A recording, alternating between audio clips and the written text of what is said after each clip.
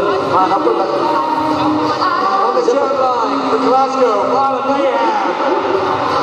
Running across the track for Glasgow, elevates. Thank you. Well, a slow start to the second half.